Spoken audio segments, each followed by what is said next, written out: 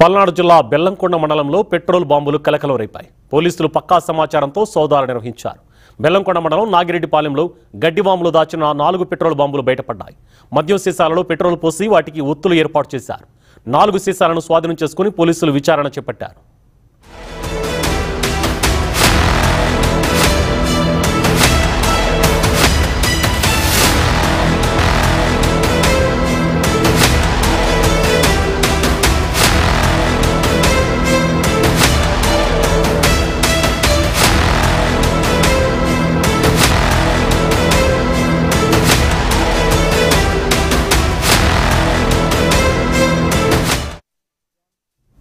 Macherla MLA Pinnelli Ramakrishna Reddy అరా